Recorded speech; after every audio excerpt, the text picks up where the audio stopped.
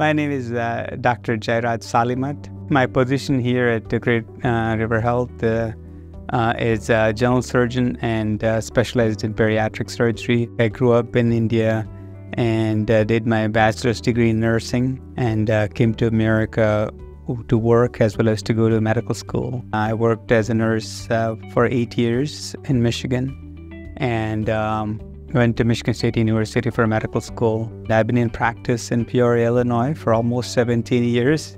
Great River Health uh, is a uh, kind of new opportunity for me, new life. General surgery yeah, gives me a vast um, array of uh, procedures. We do a full gamut of um, hernias to appendix to trauma and uh, complex surgeries. General surgery allows us to take care of children to adults to and elderly individual from all walks of life. There is a never a dull moment in general surgery.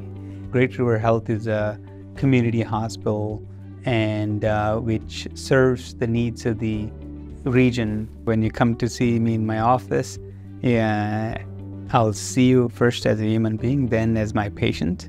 Before you leave my office, you would have a full understanding of what your health issue is and what the cause of the issue is and what the solutions and options of treatment are. Solve the problem by fixing the problem rather than just diagnosing it. If you can somehow